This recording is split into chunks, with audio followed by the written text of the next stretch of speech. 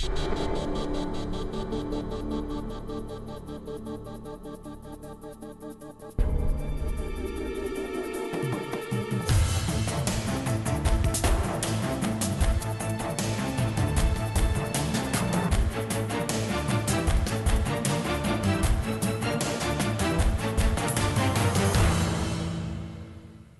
spune tu mie, Radu, cum o cheamă pe mama ta? Pe mama mea o cheamă Georgiana. Poți mai bine.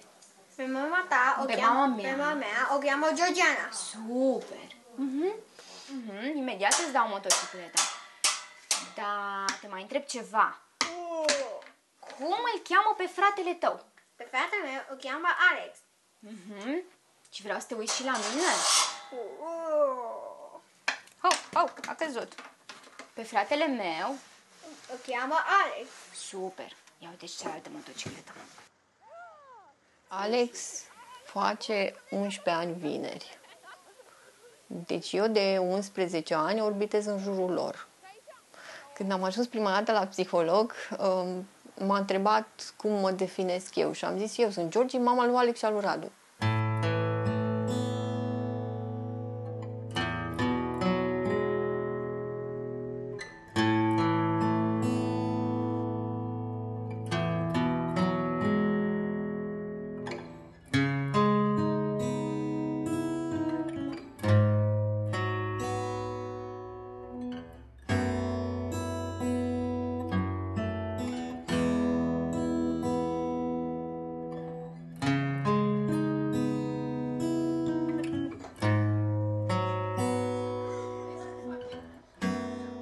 Prima reacție când uh, l-au diagnosticat pe Alex, uh, m-am dus acasă, m-am uitat pe YouTube, când am văzut cum ce filmulețe sunt acolo, deci eu am vrut să omor copiii și după aia să mă omor pe mine.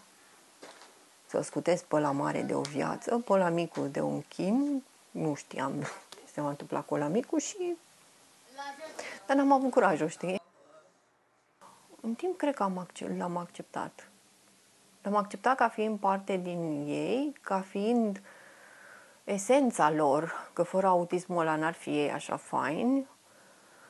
Și cumva cred că e chestia aia care m-a transformat și pe mine, m-a făcut un om mai bun.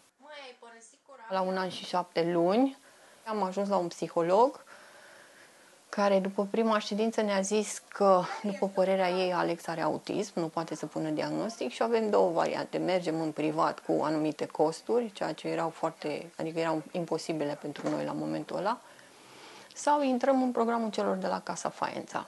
Alex a intrat trei ani în Faența într-un program de trei ore pe zi, unul la unul cu un terapeut. A fost foarte greu la început, că din trei ore, 10 minute putea să-l prindă să stea. În rest era dintr-o parte în alta camerei și făcea mm, și fugea și fără contact vizual și cu agresivitate, cu episoade în care mi-a trecut într-un tantrum prin ușa de la baie care avea sticlă, adică niște chestii urâte. R de la... Roț. De la roți. Super. Și aici? Elefant. Elefant. Foarte bine. Elefant. Fă palma. E de la elefant. Și ăla micul creștea. Și a crescut normal, cu chestii care nu le-am văzut la ăla mare, cu împărtășit, cu adus o jucărie și uitat în ochii mei, cu făcut papa, ceau ceau, uh, strigat după frate sau prin piață, ai de mă. Și undeva pe la un an și jumătate a început să se stingă. Sub ochii noștri. Să-i dispară contactul vizual, să înceapă să învârtă roți, în fiecare zi îl vedeau cei din Faența, că mergeam cu el în brațe să-l iau pe mare și efectiv se stingea sub ochii noștri și toți eram șocați, nu ne venea să credem că și el o să fie. Așteptările pentru el au fost foarte mari, că o să vorbească repede și uite, suntem la 9 ani și încă ne chinuim. Și, și. Si, si, si, si. Am avut momente de revoltă și mai am. Mi-aduc aminte odată m-am certat cu cineva de sus și știu că ridicasem pumnii și ziceam, da, nu mi-ai dat nimic, nici aia, nici aia, și amândoi și aia. Că Asta e marea mea revoltă, măcar să fi fost unul cât de cât ok, să știu că rămâne unul în grija celuilalt, dar sunt amândoi și nu știu ce se va întâmpla. Uh, Da, mai vine cât un dar de undeva, știi? Și atunci realizez că nu sunt chiar așa de singură. Suflă, să mă rog. Trebuie să sufli. Wow, a suflat și mama. Că Alex a strigat mama la patru ani. Și de fiecare dată, când aud un mama, parcă o duc iar în emoția aia de atunci, de începuturi. Și sunt tot felul de chestii mărunte, cum mă iubește Radu și mă sufocă. Ce este? Ce s-a întâmplat?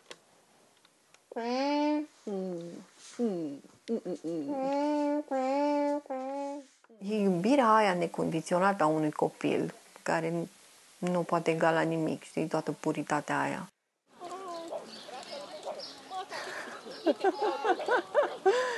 Ne-am întâlnit o duminică. Era cu doi ginere sau fiu? Hai să stăm aici să-l așteptăm pe Alexandru, da?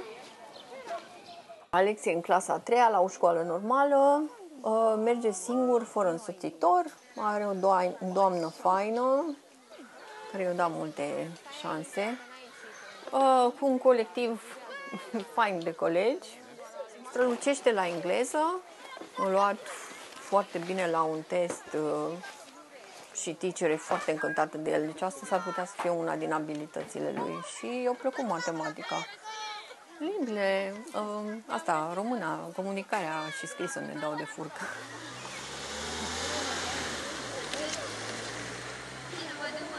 Uite de la dreapta, stop!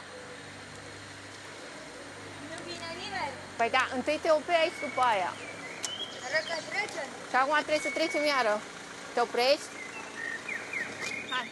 Terapiile copiilor sunt susținute exclusiv din ce e în asociație și din ce fac eu pe lângă. Tot ce am făcut eu și tot ce fac eu e cu scopul de a-i ajuta pe ei. Prefer să fac o chestie uh, constructivă decât să stau să-mi plâng de milă și să stau să aștept banii de la stat. Știi? Și sunt foarte puțini părinți care au luat aurul de coarne și să facă ceva. Face popcorn. Dar nu Radu.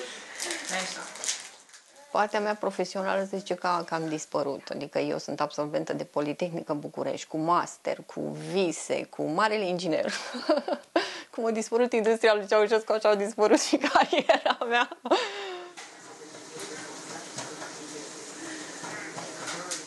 Dar cumva mi-a dat așa viața vreo două palme.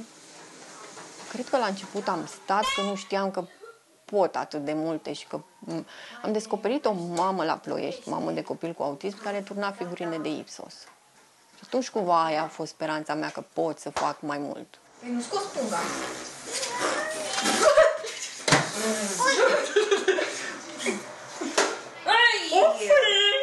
Deci am rămas eu cu partea cea mai grea, nu-i frumos.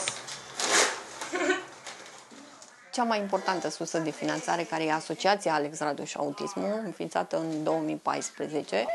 Uh, Prin ea strângem uh, cei 2%, în curând 3,5% că ne înscriem și noi în registru. Mai primim uh, uh, sponsorizări de, din impozitul pe profit de la firme și uh, ce se strânge pe diferite evenimente, donațiile intră acolo. Iar te-ai spălat pe mâini. Hai, vii să termini aici. Picasso! Fac seturi de moți cu decupaj sau cutii când mai apuc, dar în ultimii doi ani cred că m-am nișat foarte mult pe seturi de moți. Partea financiară e cea mai stresantă. Faptul că eu nu am un venit constant. Știi? Adică depinde, comisioanele variază, comenzile variază, în funcție de cât mă promovez, câți oameni decid să se implice, banii din donații sunt mai mulți, mai puțini în funcție de evenimente, 2% la fel, anul ăsta e vraiște. Te lupți cu școala, cu biserica, care vor și formulare. Uh, Sunt din ce în ce mai multe ONG-uri, din ce în ce mai multe cazuri. Noi suntem din ce în ce mai săraci. Și atunci eu cumva încerc să găsesc alte modalități să suplinesc, să nu depind numai de 2%. Ăsta e cel mai mare chin, că te îngroapă în hârtie, în afară de faptul că trebuie să le pui pe anafuri. După aia trebuie să le pui, uh, să mai atașezi diferite hârtii la ele. Cred că de vreo șase ani de zile în fiecare toamnă facem cămara cu veselie, care a pornit de la ideea unei prietene că Georgi, hai să adunăm mămici care să doneze borcane, le scoatem la licitație și strângem bani. E cumva principalul eveniment de fundraising. Ar mai trebui să mai creez unul în primăvară, ca să fie două evenimente mari pe tot anul și să încerc cumva să distribui, să acopăr anul. În primăvară mă gândeam să leg ceva de ziua lui, că el e pe 17 mai și să fie o chestie în care să-l și sărbătorim să se și strângă bani pentru următoarele proiecte. Întotdeauna m-am întins cam cât mi-e pătura. Știi, mă uitam în cont și vedeam cam câte ore de terapie pot să-mi permit. Acum sunt într-un proces în care mă arunc înainte, știind că am undeva la să rezist 6-8 luni de zile, dar trebuie după aia să, să fac o chestie să fie sustenabilă. Și mă, lista mea de idei și de planuri e lungă din păcate, eu sunt omul cu multe idei și puțin timp. Visul ar fi un fel de after special. Adică el cu încă vreo 2-3 copii, nu neapărat cu dizabilitate, chiar și din ăștia mai sărăcuți, cineva să se ocupe de ei și să învețe partea asta de socializare, de interacțiune, de inițiere, pentru că asta îi lipsește lui. N-am puterea să fac ceva mare pentru toți copiii, centru sau ceva de genul ăsta, dar dacă fac pentru ei și mai reușesc pe lângă să ajut câțiva, e ok. Ce mai rămas? Aici? Nu este, da? Nu e. Nu este. Ok, închidem. Aici? Aici. Societatea nu e pregătită. Pe noi, în general, ne sperie tot ce e altfel și avem tendința să dăm la o parte. Nu neapărat că e autism, orice dizabilitate, orice chestie care e mai ciudată. În anii ăștia am auzit povești de genul că e prost crescut să dai la fund sau de la medic, a, are autism, n-aude. Autismul e dizabilitate invizibilă. Da? Îl vezi că are două mâini, are două picioare, dar nu te uiți contact vizual sau dacă răspunde la comenzi. Și atunci zice că e prost crescut și că nu l-ai educat. Cele mai răvășitoare întâmplări sunt sălea din supermarketuri, când se găsește, când ești la coadă și agitație și un copil normal și un adult nu are răbdare și ei încep să-și piardă răbdarea și încep să scoată diferite sunete, să se agite și tu încerci să stai acolo calmă și, și se găsește cât un deștept care să zică, da mai taci, mă, sau ce faci gălăgia aia, sau Știi? Și atunci eu cel puțin răbuvnesc și mă întorc și zic, dar are autism, ce vrei să-i fac? Să-i pun etichetă? Și în momentul ăla, oh, toată lumea, liniște, îmi cer scuze. De acum mergem în anumite magazine, în timp încep să ne cunoască, știi, și vânzătorii ne mai țin apărarea și mai zic, lasă pe doamna aia. Ia, mera, așa?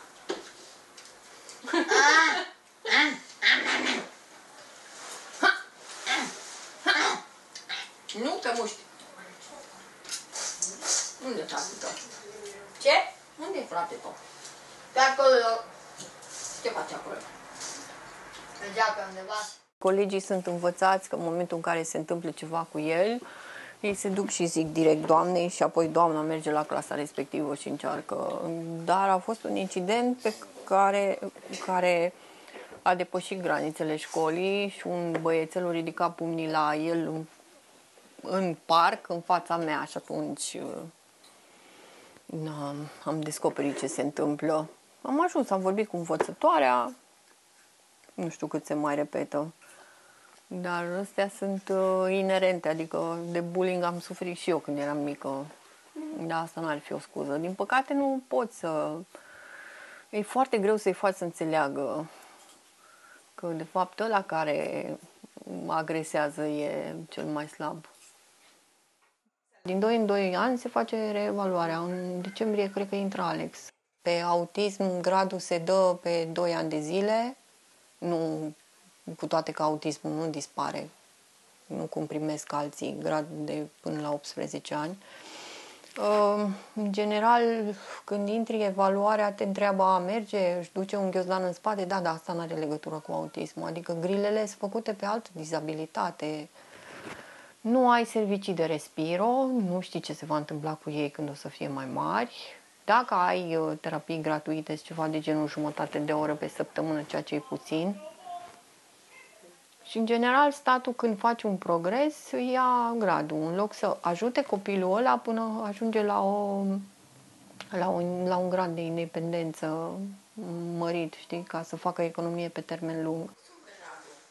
Când mi-am uh, operat hernia umbilicală la paroscopic, am stat departe de ei și cred că prima dată când am făcut ceva pentru mine a fost vara trecută când am câștigat o excursie, un incentiv și o săptămână am plecat în Sicilia. Singură, dar m-am simțit ca ăia care rup ușa.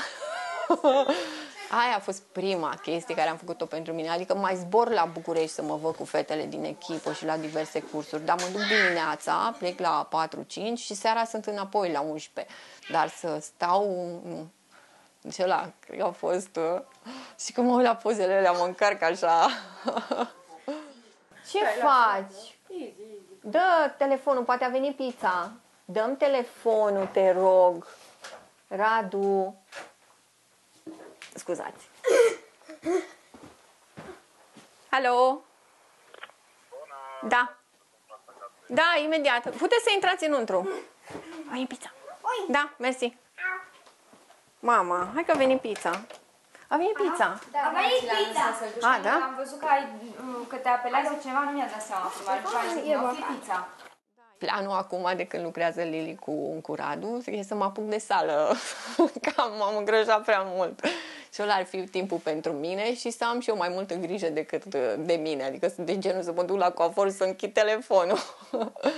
Alea ar fi, ar fi lucrurile care aș vrea să le fac pentru mine, pentru că și pe astea par așa, cum să zic, uh, for granted pentru unii, dar eu nici pe, de astea n-am beneficiat, erau toate pe fugă. Sunt frustrată că sunt una singură și nu pot să fac mai multe lucruri, frustrată că nu pot să mă împart între ei, între tot ce vreau să fac. Uh, totdeauna e o balanță. Dacă mă ocup de ei, nu mai am partea financiară. Dacă mă ocup de partea financiară, să aduc fonduri pentru ei, nu mă mai am timpul cu ei și tot timpul așa. Plus că uh, vreau să fac și pentru sufletul meu și uneori simt nevoia să nu mai dau așa de mult și să zic stop, gata, acum vreau și pentru mine, știi? În ultima vreme am început să, să reduc din ele în sensul că nu mai iau comenzi, pentru că lucram noaptea și a doua zi eram zombie.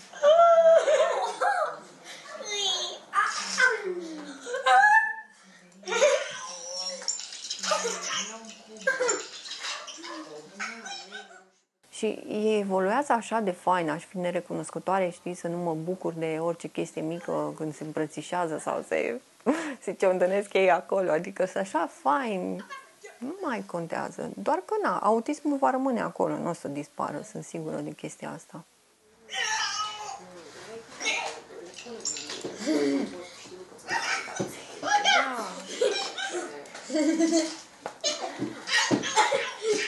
din partea lor e și mai dură lecția pentru că apreciez toate lucrurile venite la momentul la care vin, pentru că ele vin cu întârziere. Știi? Faptul că se duce mai târziu la școală, faptul că se duce la școală, da? Nu mai pui problema ce școală să alegi. Zici, Doamne ajută că are o școală, adică și asta este o minune faptul că, nu știu, se șterge singur la fund sau că poate să mănânce singur sau că poate să-ți exprime o durere, mă doare capul. Astea sunt niște chestii wow. Și ce scrie?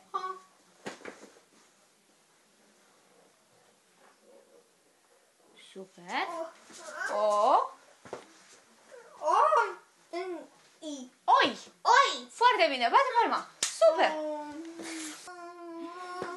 Nu mă consider un om puternic. Mă consider un om care mm, nu a avut de ales. Știi, ca să fii puternic trebuie să-ți depășești niște frici. Eu încă sunt în niște blocaje. deci mă duc la psiholog să mi le lucrez. Da. Dă-mi pe bovnița.